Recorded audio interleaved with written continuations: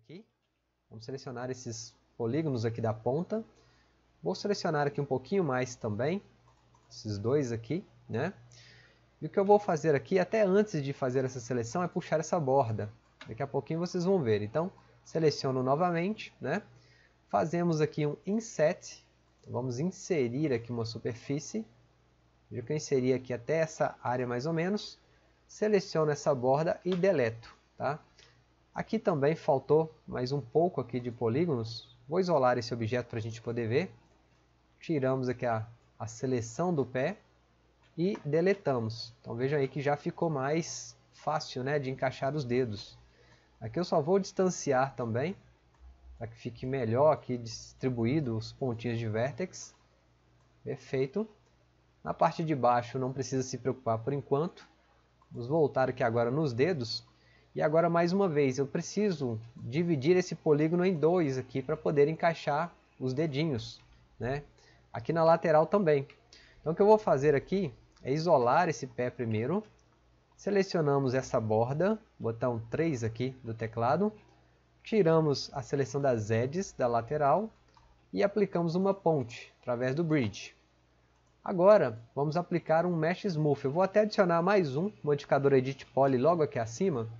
A gente ver como que vai ficar. Vou clicar no botão Mesh Smooth. Ele vai suavizar aqui o pé mais uma vez. né? Veja que já ficou melhor. Agora selecionamos a frente novamente por completo e eu posso ou deletar ou até mesmo manter para a gente poder fazer a ligação lá dos dedos. Vou aumentar aqui um pouquinho só. Vamos reduzir aqui o fazer um planar, né?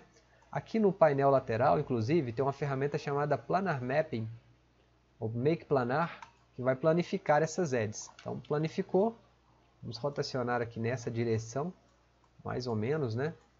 Fazer aqui uma um leve, uma leve caída. Isso aqui para fazer essa pelinha aqui dos dedos, vejo que tem aqui uma pequena pele aqui na base, né?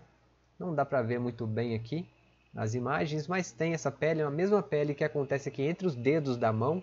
Se você observar sua mão, tem uma, uma pequena membrana, né? uma pelezinha pequena. Vou deixar aqui bem mais próximo. Vamos aumentar o escalonamento. Que também eu vou rotacionar um pouquinho. Perfeito. Vamos lá nos dedos agora. Veja que os dedos estão até um pouquinho mais distantes. Então vamos selecionar aqui, puxar para frente novamente. Eu vou deixar aqui um pouquinho mais, mais próximo. Eu tenho que selecionar a ferramenta Select and Move. Puxar para frente. Aqui está bom. Nesse caso aqui da ponta do dedão, eu vou selecioná-la aqui individualmente. Vamos rotacionar para fazer um encaixe melhor, né? Perfeito. E agora eu vou começar a fazer esse encaixe. A primeira coisa que eu vou fazer aqui é atachar os modelos. Atachei o primeiro dedão aqui. Deleto esse pontinho de vértex. Seleciono a borda e faço uma ponte através do bridge. Então vejam aí que o dedão foi encaixado. No próximo, mais uma vez, vamos atachar o próximo dedo. Vou até atachar já os demais, né? vamos juntar todos. Vou tirar aqui esse pontinho de vértex, selecionar a borda dos dois objetos e aplicar uma ponte. Mais uma vez, selecionamos o vértex, deletamos, selecionamos a borda e aplicamos uma ponte. Vou aplicar a ponte aqui desses dois dedos.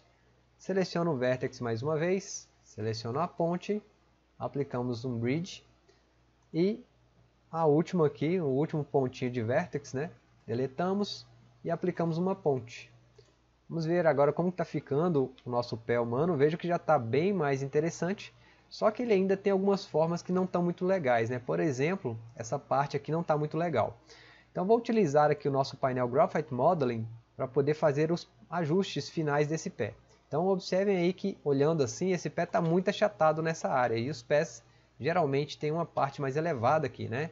Eu vou deixar nessa direção aqui da vista, vamos vir aqui no painel Freeform, selecionamos a ferramenta Shift, Ctrl Shift para aumentar aqui o tamanho do brush, né? então botão Ctrl para aumentar a área do Fellow, e aqui eu vou puxar um pouquinho para cima. Então vejam que já melhorou, posso ajustar aqui também na, no dedão, né? Aqui está ótimo. Aqui na vista top, botão T, vou ajustar também. Então pressiono aqui o botão F2, F3. Vejam que aqui eu tenho que ajustar a, a distância dessas divisões. Aqui está ótimo. Vamos utilizar agora também a nossa ferramenta Relax. Eu vou deixar o Relax aqui com o Strand. O Strand fica aqui do lado aqui no painel. Vou deixar o Strand em 0,1, o Strand bem baixo, para poder aplicar aqui o Relax nessas áreas. Então veja aí que nós vamos fazendo uma distribuição melhor, né, digamos assim, dos pés. Ficou bem melhor aqui também. Essa área aqui, eu vou selecioná-la por completo. Vamos fazer aqui um Grown seleção. Vamos tirar a seleção aqui da frente também. Faço mais um Grown. Esse Grown aqui é o Control Page Up, tá? para poder subir aqui a seleção. Puxamos um pouquinho para baixo, Control Page Down, puxamos um pouquinho para baixo também. Control Page Down mais uma vez, puxamos um pouquinho para baixo. Aqui no dedão também, vamos puxar um pouco mais essa área, né? Então puxamos aqui um pouquinho mais, para dar esse efeito aqui de, de elevação. Vamos pegar essa, essa edge aqui, puxamos para dentro também, que está ótimo. Lá na nossa imagem de referência, vocês vão se recordar que o pé também tem uma pequena elevação aqui na lateral, esse pé feminino aqui mostra isso claramente, né? Esse outro pé aqui já é um pé com característica reta, mas eu vou fazer com essa outra vista aqui. Vamos voltar lá no 3ds Max, vamos fazer esse mesmo detalhe aqui do pé, né? Então vou pegar essa área aqui, vou ativar a opção Soft Selection mais uma vez. Vejam aí que ativando o Soft Selection ajuda bastante, né?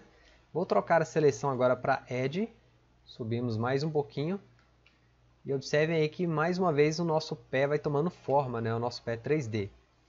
Aqui na vista left, vou tirar o Soft Selection, vamos pegar a ferramenta Shift mais uma vez. Eu vou puxar isso aqui um pouquinho para o alto, só para dar um efeito aqui mais interessante, né? Aqui no pé, vamos ajustar pela vista top, inclusive, eu consigo fazer isso de uma forma mais fácil Ajustamos aqui o tamanho do calcanhar. Vamos deixar um pouquinho maior. Aqui também pela vista de baixo, eu consigo fazer esses ajustes de uma forma mais, mais fácil, né? No peito do pé que eu vou deixar um pouquinho mais alto também. Ok. E veja aí que o nosso pé já está praticamente pronto, né? Vamos ver aqui agora com o Turbo Smooth como que vai ficar. Então vou aplicar o Turbo Smooth a esse modelo, modificador, e vejo que o pé já foi formado, né? O que eu recomendaria aqui agora para vocês fazerem são só os detalhes. Por exemplo, aqui nessa parte do pé tem um pequeno osso, né? uma pequena elevação. Então, para vocês deixarem o pé mais detalhista, vocês podem voltar aqui, por exemplo, né? e puxar esse pontinho aqui um pouquinho mais para cima. E em contrapartida, puxar esses outros pontos aqui um pouquinho mais para baixo. Então, vou pegar todos eles, vou puxar para baixo, pego aqui, puxo um pouquinho para cima também, para dar um efeito de, de elevação, né? de veia mesmo, alguma coisa desse sentido. Vamos ativar o Turbo Smooth mais uma vez. E vejo que já deu um detalhe, né? nessas áreas aqui, já vai subir aquele efeito do, do osso do pé. Lá na vista top também, vou fazer com que esse pé aqui tenha um detalhe. Então vou pegar aqui essa ponta do dedão, vamos pegar aqui com a seleção, né? Fazemos um grown através do page, Ctrl Page Up. Eu selecionei aqui toda todo o dedão, né? Vamos fazer aqui mais um grown, puxar um pouquinho para trás, um shrink, puxar um pouquinho para trás, um novo shrink, puxar um pouquinho para trás. Olhando aqui embaixo está tudo certo, não tem muita coisa o que mexer aqui, né? Vou só fazer aqui alguns ajustes mesmo, para deixar o dedo mais interessante aqui.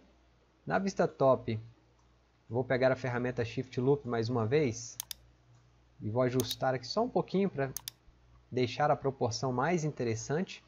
Inclusive aqui na parte interna dos dedos, Vou deixar aqui também mais próximo, né? Deixar os dedos quase que colados aqui. Na parte de baixo, vamos puxar isso aqui para frente também, para dar aquele efeito lá da membrana que nós falamos há pouco. Então puxamos esse pontinho aqui para frente. Como trata-se de uma modelagem orgânica, nós dificilmente vamos, vamos ter um, um, um pé certinho, né? como eu já falei para vocês, então acho que essa parte já está bem clara, não precisa mais né, de esclarecer sobre isso. Vou só puxar essas, essas edges aqui um pouquinho para baixo e o nosso pé está pronto. Aqui só para finalizar essa parte de trás, Vou ativar a ferramenta Relax aqui também. Aqui com o mesmo atalho que é o Ctrl Shift. Vamos fazer aqui uma distribuição melhor do calcanhar. Depois eu vou lá na vista left, botão L. E vamos puxar esse calcanhar aqui um pouquinho mais para trás. Para dar aquele efeito né, de, do calcanhar humano. Então vejam aí que a topologia ficou perfeita aqui. Outra coisa também, aproveitando aqui sobre os ossos que aparecem na ponta do dedo, aqui na lateral do pé também tem um osso que aparece, né? Então lá naquelas referências provavelmente tem, né? tem esse, esse osso aqui aparecendo, dos dois lados do pé esse osso aparece.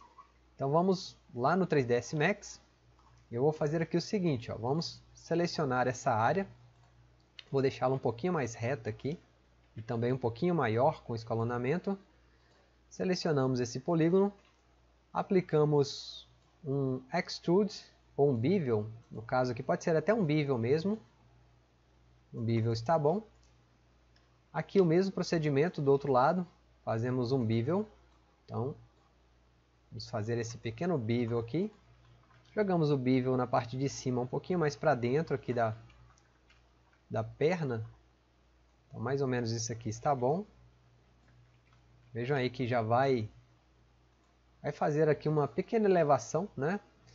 E aqui na perna também, já aproveitando essa alteração, eu vou puxar isso aqui um pouquinho para dentro. Porque eu sei que na, lá na, na, perna humana, essa parte da frente aqui, onde passa, onde tem um osso, né? Ela é um pouquinho mais fina. Então vou puxar aqui também um pouquinho mais para dentro. Vamos puxar aqui um pouquinho mais para dentro. Fazemos aqui um, um relax também. Então pego aqui nas minhas ferramentas do Max.